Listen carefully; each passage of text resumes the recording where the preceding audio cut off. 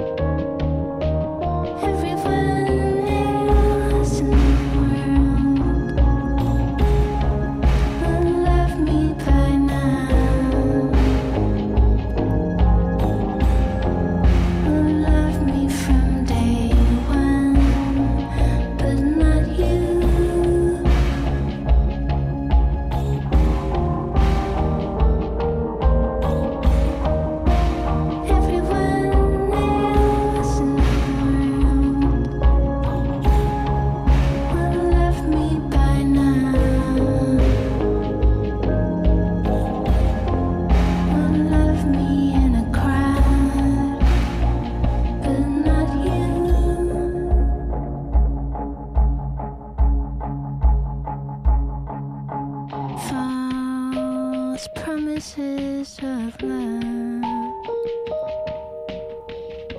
Still